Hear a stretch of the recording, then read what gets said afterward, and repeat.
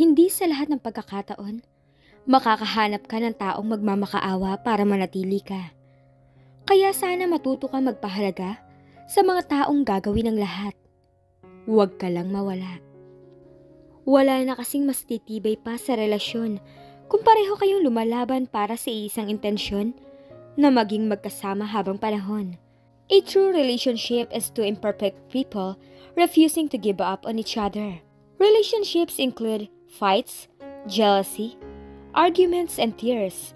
But a real relationship fights through all of those with love.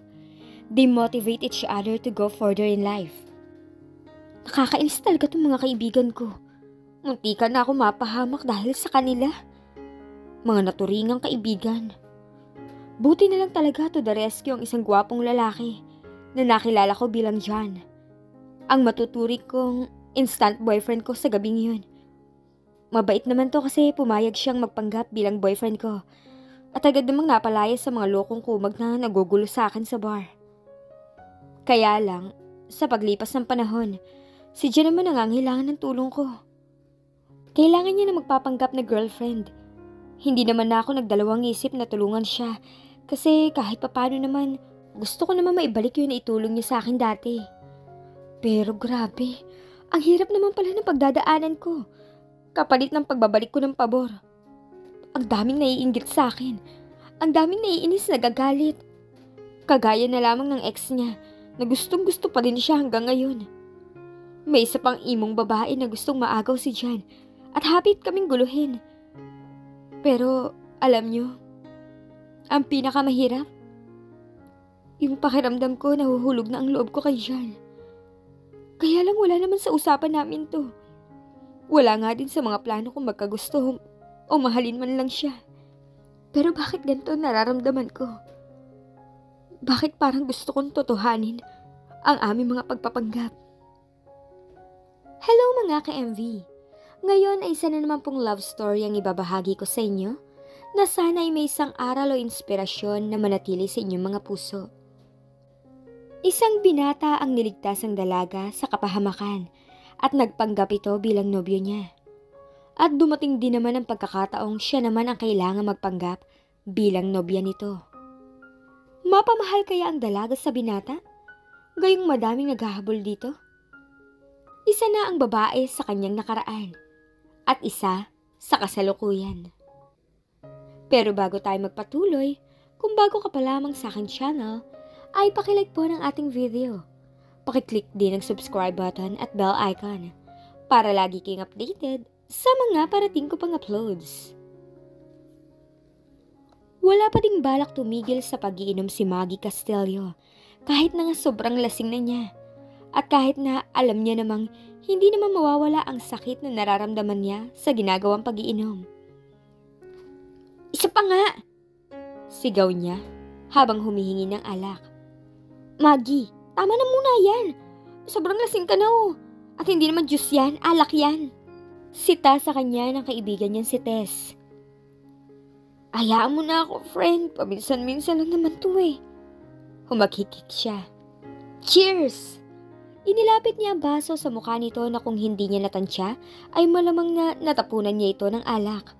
Cheers ka dyan, at bakit? May rason ba para mag-celebrate tayo at magpakasaya? Kilala kong kuripot, no? Hindi ka basta-basta nagyayang uminom unless... Nanunuring ang tinging ipinukol nito sa kanya. Saka umiiling na nag-iwas ang tingin sa kanya. Aminin mo na nga kasi, may problema ka no? Tumahimik siya at uminom uli ng alak. Masakit na ang mga mata niya sa pagpipigil na umiyak. Don't you dare cry, Maggie. Pagpipigil niya sa isip. Ayaw na ayaw niya nagpapakita ng kahinaan sa harap ng ibang tao, kaya madalas kinikimkim niya kanyang mga problema. And her friends knew that side of her damn well. Hay nako Maggie, hindi na magtataka kung balang araw bigla ka nalang aatakihin sa puso. She sighed. Inisang lagok niya ang natitirang inumin, saka hinarap ito. Eh, hindi pa talaga ako handang magkwento ngayon, Tess. Sabi niya sa garalgal na tinig. Nagbabanta ng tumulo ang kanyang mga luha. Tila naunawaan nito ang kanyang sinabi nang bigla na lang siyang yakapin nito. Pagkalipas ng ilang minuto, bumitiw ito sa kanya. Basta, kung kailangan mo na makakausap ha, nandito lang ako. Alam niyang may idea na ito kung ano talaga ang kanyang problema. Nagpasalamat siya dahil hindi ito nagusisa pa. Salamat. Since nandito na rin lang tayo, nangislap ang mga mata nito at pinagalaw-galaw pa ang mga kilay. Hanap na lang tayo ng panibagong papa. Ang probable prospect. Kinindatan pa siya nito bago nagpalinga-linga sa paligid. Napapangiting itinirik na lang niya ang kanyang mga mata. Basta lalaki ang pag-uusapan, ay garapal talaga ang kaibigan niya. Lalo na sa mga gwapo. Hindi naman dahil sa walang lumalapit dito kaya ito ganun. Marami itong manliligaw pero pihikan ito kagaya niya. Palagi lang itong nirarason na Men are God's gift to women and vice versa. E di lubos-lubusin ko na ang pag-enjoy sa gift ni God para masaya. Ewan ko sa'yo, friend. Ever swapang ka talaga sa lalaki. As if mauubusan ka, no? Natatawang pinagmasdan niya ito habang naghahanap ito ng prospect. Kahit paano ay gumana pakaramdam niya dahil dito. Magsisiyar lang ako, Tess. Tapos uwi na tayo, medyo umiikot na rin kasi yung paningin ko. Nangako siya sa sarili na yun na ang huling gabi na magpapakalasing siya dahil sa kabiguan niya. She swore that she would move on, one step at a time. Sumama kaya ako sa susunod na boy hunting trip ni Tess. Nilingon niya ito. Naghahanap pa rin ito ng prospect. Kawawang nila lang. Napapailing na tinahak niya ang daan patungo sa restroom. May usapan si Maggie at ang mga kaibigan niya na magkikita sila sa isang bar sa High Street, The Fort. Ayaw niyang magmukmok at mag-emote sa bahay, kaya naisipan na lang niyang sumama. Pinagbakasyon siya ng mga ito dahil hindi siya makapagtrabaho na maayos. Noon na siyang dumating sa naturang bar. Kung kailan nandun na siya, saka naman sunod-sunod na nag-text sa mga ito na mahuhuli ng dating. Bumuntong hininga siya. Matagal-tagal yata siyang maghihintay. Marami-rami na rin ang tao roon kaya medyo saksikan na kahit ang karamihan ay nasa dance floor na. Bumuntong hininga siya. Nag-text din sa kanya, sino Jeda at Frey, na malilita mga ito. May konting problema raw sa restaurant na pag-aari nila magkakaibigan. Tumawag din si Tess at sinabing hinihintay pa nitong dumating ang nakatatandang kapatid nito. Naiwan kasi sa pangangalaga nito ang mga pamangkin nito habang nagsa-celebrate ang wedding anniversary ang kapatid at bayaw nito. Si Aika on the way na raw. Pero pupusta siyang paalis pa lang ito sa tinitirhan nitong condominium unit sa Paranaque nang mag-text ito. Hindi niya alam kung anong gagawin niya habang hinihintay ang mga ito. Kung alam lang niyang siya ang mauunang dumating, hindi na sana siya umalis ng ganong kaaga. Well, there's nothing else you can do. Might as well entertain yourself. Palibhasa ay Sabado, mukhang lahat ng tao ay may planong gumimik. May nadaanan siyang grupo ng mga nagkakasayahang kababaihan na mukhang matatalo ang clown sa sobrang kapal ng make-up. Sobrang ikli rin ang damit ng mga ito, kaya hindi niya ma-imagine kung paano pagagalaw ang mga ito para hindi masilipan. Unless yun talaga ang purpose ng mga ito. Kung pagmamasdan ang kilos at pananalita ng mga ito ay masasabing maarte, to the max ang mga ito. Pilit siyang umiwas sa daraanan ng mga ito, ngunit natabig pa rin siya ng mga ito, kaya napasubsob siya sa kalapit na mesa. Pero bago siya tuluyang makapag-lips to lips sa mesa, ay may sumalo sa kanya, kaya hindi siya nasubsob ng tuluyan. Hmm, she smells nice. Hindi alam ni John kung may lumuwag na tornilyo sa utak niya, kaya ganoon na lang ang pagkahalina niya sa babaeng inalalayan niya. Parang gustong gusto niyang singhot-singhotin ang mabangong amoy nito. She smelled like a flower garden, mild and sweet. Oh, get a grip man. Sita ng isang bahagi ng isip niya na medyo oriented pa. Pero bago pa siya makiisip ng sasabihin, nakatayo na ito ng maayos at mabilis na naglakad palayo sa kinaroroonan niya. Well, so much for thank you. He gave her one last look, but he couldn't find her anywhere. Nagkibit balikat na lang siya at bumalik sa kinaupuan niya. Weeks na siya sa Pilipinas at ngayon lang siya nagkaroon ng oras para makasama ang mga kaibigan niya. Eight years ago, he left for the US together with his family. Nagdesisyon ng mga magulang niya na sa Amerika na manirahan para pamahalaan ng mga ito ang mga naiwang negosyo ng yumaong lolo niya. He had a great life in America, but he didn't want the complicated and stressful lifestyle that it offered. Idagdag pa na naging obsessed sa kanyang ex-girlfriend niya na halos lahat lang yata ng tao ay pinagseselosan. He grew tired of pleasing her. So he decided to end the relationship. Umuwi siya sa Pilipinas para tumulong sa negosyong ipinundar nilang magkakaibigan. Ang 5 times B. It was an architectural firm. Working for this company was like hitting two birds in one stone. It was both fun and productive at the same time. John, where the hell have you been, man? You're missing out on all the fun. Tanong ng kaibigan niyang si Miggy. Sabay akbay sa kanya. By the way, John, kumusta naman kayo ni... MJ? Tanong ni Riley na nakaupo sa mesa di kalayuan sa kanya. Balita ko nakipag-break ka na sa kanya. Brad, mukhang sinasakal ka na ng baing yun ah. Natatawa ang komento ni Rick. Matagal na kaming wala I need to stay away from her. Para hindi ako mahawa sa mga kabaliwan niya. Sabi niya saka uminom ng alak na hawak niya. Nagtawanan ng mga ito. Eh, mukha lang yata at assets ang mapapakinabangan mo rin eh. Sabi ni Riley habang hinihimas-himas ang baba nito. Nagkibit siya ng balikat. Asa na si Caleb? Sabi niya na ang tinutukoy ay ang kaibigan nilang workaholic. Hindi yata uso sa kaibigan nilang yun ang mga salitang break fun at chill. Para itong kalabaw na kayod lang ng kayod. Nasa labas at may kausap lang sa cellphone. Napapailing na sagot ni Riley. Ewan ko ba sa kaibigan nating yun? Kung bakit kahit kalabaw, e ubod na ng yaman at nag-uumapaw na nga ang pera sa bangko na pamilya pa nito ang mayari. Lasingin kaya natin para maiba naman. Nakangising mungkahi ni Rick at pinagalaw-galaw pa nito ang mga kilay nito. Nagkatingin na ng tatlo at isa-isang sumilay ang nakakalokong ngiti sa mga labi ng mga ito. Bago pa makapaghasik ng lagim ang mga ito, ay tumayo na siya para kumuha ng panibago may inom at makaiwas na rin sa binabalak ng mga ito. Bahala na nga kayo dyan. Maggie felt that someone was watching her. Paglingon niya ay nagulat siya nang may sumulpot na dalawang lalaki sa harap niya. Medyo kinabahan siya nang makitang nakangisi ang mga ito at malagkit ang paraan ng pagkakatitig sa kanya. Hey there, gorgeous. Care to join us? Sabi ng isang lalaki na may shades na nasa ulo nito. No, thank you. Mabilis na tanggi niya at nilampasan na mga ito. Hinarang siya ng kasamahan nito kaya hindi siya makaalis. Sige na miss, magkwekwentuhan lang naman tayo. Napansin namin kanina ka pa nagsosolo rito. Malungkot pa man din na mag-isa. Tell me about it. Piping pagsang-ayon niya. Ngunit kahit na magsolo siya buong gabi ay okay lang. Hinding-hindi siya sasama sa mga mokong na to na kung makatingin ay para mga aso na nakakita ng buto. Kung bakit ba naman kasi ang tagal dumating ng mga brohildang kaibigan niya. Nagtangkang lumapit ang dalawang lalaki sa kanya. Sa taas niyang 5'7", ay hindi pa rin siya umabot sa taas ng mga ito, kaya lalo siyang kinabahan.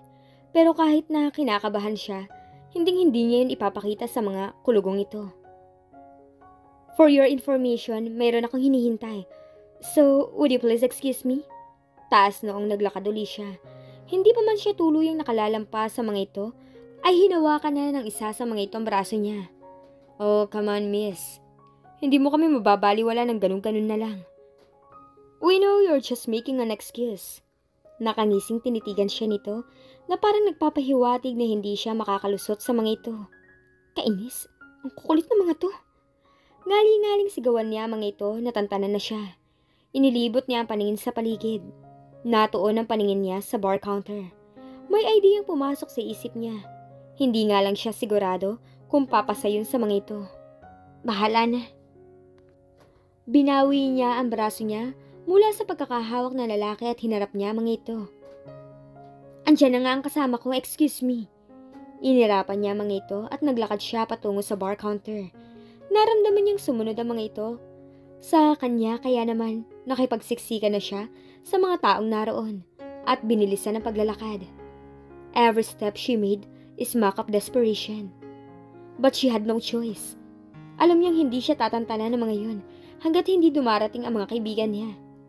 Ang hirap talaga maging maganda. Maganda talaga siya. Palagi nga siyang inuudyo ka ng mga tsahin at kaibigan niya na sumali sa mga beauty contest. Dahil siguradong qualified daw siya. She had beauty, brains, and height. Sabi ng mga ito. Hindi nga lang niya talagang hilig ang mga ganun, kaya nakontento na siya kung ano meron siya. Naiinip na siya sa paghihintay sa mga kaibigan niya. Humanda sila sa akin mamaya. But now, I've got to face this problem first. May dumaang waiter sa kanyang harap. Sa nervyos, kinuha niya ang isa sa mga inuming isa-serve sana nito sa isang table. Inisang lagok niya ang nasa kopita. Pagkasayad pa lang ang inumin sa lalamunan niya, napangiwi siya sa sobrang tapang ng alak. Parang sinunog ang lalamunan niya. Pampawala ng nervyos. She exhaled as if she were getting ready for the fight. Here goes nothing. Good luck to me. Dire-diretsyung naglakad siya patungo sa bar counter kung saan naroon ang probable partner niya sa kanyang drama act. Hi! Bati niya sa lalaking nakaupo sa bar stool. Kanina ka pa ba? Marami kasing tao kaya hindi agad kita nakita. Umupo siya sa tabi nito, saka ngumiti ng matamis. Rumihistro ang pagkalito sa gwapo mukha nito habang tinititigan siyang mabuti. Do I know? Sorry talaga kung pinaghintay kita ha. Nakakahiya naman sa'yo. Umabrisyete siya rito at inilapit ang mukha rito sa kabumulong. Makisakay ka na lang muna please. Nagsusumamong tinitigan nito, saka ibinaling ang tingin sa likuran niya. Tumingin din ito sa gawing tinitingnan niya. Nakita rin siguro nito ang mga lalaking nakamasid sa kanila sa di kalayuan. I'm really sorry pero ayaw talaga nila akong tantanan. Okay lang naman sa akin kahit bayaran pa kita o kaya. Nagulat na lang siya nang bigla siyang inakbayan at kinabig nito palapit dito. I guess it's okay to save a damsel in distress once in a while. He flashed her a heart-stopping smile that almost took her breath away. At kung babayaran mo ko, baka hindi mo kayanin ang talent fee ko. He smiled, showing her his pearly white teeth. Hindi rin may kakailang amusement na nabasa niya sa mga mata nito. Napalunok siya nang mapagmasdan niya ito. The guy had Latin features that made him ruggedly handsome. His caramel-colored skin matched his gorgeous dark brown eyes. Ani mo nababasa noon ang kaluluwa ng kung sinong matitingnan noon. Matangos ang ilong nito at mapula mga labi. All in all, he just seemed so perfect. Akala ko ba heartbroken ka? Ang bilis mo namang mag-move on, girl. Sita ng isang bahagi ng isip niya, kaya parang nahimasmasan siya. Ibinaling na lang niya ang paningin sa ibang direksyon. Nakita niyang papalapit sa kanila ang mga lalaking iniiwasan niya. Nanlaki ang kanyang mga mata nang makitang nakangisi pa ang mga ito. Oh no! What's wrong? Tanong sa kanya ng probable partner niya. Bago to tumingin sa direksyon na tinitingnan niya. Sa pagkakataong yun ay nakalapit na ng husto ang mga lalaki. Jan, pare. Fancy meeting you here. Akala ko sa US na kayo nakatira. Nakangising tanong ng isang lalaki. Bahagya pa siyang tinapunan ng tingin nito. Naniga siya sa kinauupuan niya dahil talagang kinakabahan siya. Akalain ba naman niyang magkakilala pala mga ito? Paano kung mabuking siya? I grew tired of the place, so I flew back here. Sagot ng probably partner niya na dyan pala ang pangalan. Besides, I already miss my baby so much, so I'm staying here for good. Pagkasabi nun ay niyakap siya nito, hindi siya nakaimik. Pakiramdam niya ay uminit sa loob ng bar kahit na fully air-conditioned yon. Oh my gosh, ang bango ng baby ko. Medyo nahilo siya sa hindi niya alam na kadahilanan. Para siyang nasa cloud nine. Gusto niyang sumiksik dito para mapalapit pa siya ng husto rito at masamyo niya ang bango nito. Parang gusto na lang niyang manatili sa posisyon niyang yun sa matitipunong bisig nito. We thought you and MJ were already engaged. Parang nahulugan siya ng malaking bato. Gustong gusto niyang pagsusuntukin ang mga kumag sa harap niya. Hindi man lang pinaabot ang 5 minutes ang kasiyahan niya. Nilingon niya si John. Nagtagis sa mga bagang nito pero mabilis din na napilitan niyon ng isang ngiti. We're true.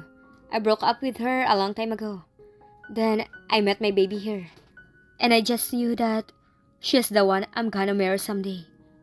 Ang galing ng umarte ng mokong. Sa isip-isip niya. Siyempre hindi siya patatalo rito. Itotodo na lang niya ang pag-acting na sweet na sweetan sa baby niya. Oh baby, you're so sweet. Pahag nga. Tumingin ito sa mga mata niya at isang Makalaglag panloob ng ngiti ang ibinigay nito sa kanya. Nginitian niya ito bago yumakap dito. Tinugon naman ito ng mas mahigpit na yakap ang yakap niya. Hinarap niya ang dalawang lalaki at hindi niya alam kung matatawa o maiinis sa pagmumukha ng mga ito. Parang nandidiri ang mga ito sa kaswitan nila ni John. Maya-maya lang, nagpaalam na mga ito sa kanila. Nang makalayo na mga ito ay kumalas na agad siya sa pagkakayakap ni John. Todo-todo ang pagpipigil niyang magpayakap uli sa matitipunong bisig nito. Kaya bago pa man niya gawin yun, ay umorder agad siya ng dalawang shot ng pinakamatapang na alak. Sunod-sunod niyang ininom yun. Are you sure you should be drinking that much? Nakakunot noong tanong nito sa kanya habang nakatitig sa kanya. Oo naman, ayos lang ako no. Huwag ka mag-alala, kaya-kaya ko to. Natatawang tinitigan niya ito at tinapik-tapik ang pisngi nito. Salamat nga pala kanina. It was nice meeting you. Sige, bye. Dali-daling tumayo siya mula sa bar stool. Bigla niyang naramdaman na parang umiikot ang paningin niya. Sinapo niya ang kanyang noo at parang unti-unting dumilim ang kanyang paningin. Hanggang sa tuluyan na siyang nawala na malay. Napailing si John nang mapagmasdan niya ang walang mali na babae na nasa mga bisig niya. Anong gagawin niya rito? Hindi niya alam kung saan ito nakatira. Hindi niya nga ito kilala. Maganda, morena, at almond shape ang mga mata nito. Mahaba ang mga pilik mata nito. She had rosy cheeks, pinkish lips, and an aristocratic nose. Matangkad din ito for an average Filipina. Napakaamo na mukha nito. That he just couldn't take his eyes off her. Ipinilig niya ang kanyang ulo para mahimasmasan siya. Kailangan niyang makaisip ng paraan kung ano ang gagawin niya sa babaeng ito. Naisip niya na baka may dala itong identification card. Inabot niya first nito. Sorry, but I need to look at your stuff. Sabi niya rito. Himbing na himbing ito. Binuksan niya ang purse nito. Cellphone at pera lang ang nakita niyang laman nun. Akmang ilalabas niya ang cellphone nito nang tumunog yun. Inisip niya baka emergency ang tawag kaya sinagot niya. Mags, pasensya na pero ngayon lang ako nakaalis sa amin. Medyo natagalan kasi sinate sa date nila. Nasaan ka na ba? Tanong ng isang babae sa kabilang linya. Um, she can take your call right now kasi tulog siya. Sino ka? Asan si Maggie? Anong ginagawa mo sa kanya? Tanong nito sa mataas na boses. I'm Jan De La Roca. I helped your friend earlier at ngayon mukhang nalasing siya kaya nakatulog. Don't worry, she's in safe hands. Mukhang kailangan na niyang magpahinga kaya naisip kong dadalhin ko na lang siya sa unit ko sa Makati. Ano kasi neswerte? Baka kung ano pang gawin mo sa kaibigan ko. I'm on my way there, and I'll be the one to take her home. Don't you dare move from the spot. Pagkasabi nun, ay tinapos na nito ang tawag. Napabuntong hininga siya. Now, he had to wait for this girl's friend. Pero tinatamad na siyang maghintay. Nagsasayang lang siya ng oras sa isang babaeng hindi niya kaano-ano. Maya-maya pa'y gumalaw ang babae. Mukhang nagising ito. She stared at him with those lazy-looking eyes. Her pretty face drawing closer to his. Pagkatapos bigla itong yumuko at sumuka. Shucks! He definitely won't wait for this woman's friend while he was soaked in vomit. Dumukot siya sa wallet niya ng ID at iniabot niya yon sa bartender. Pare, kapag may naghanap dito sa kasama ko, pakibigay na lang to sa kanya. Thanks. Binuhat agad niya ang babae at isinakay sa kotse niya. He would just explain later.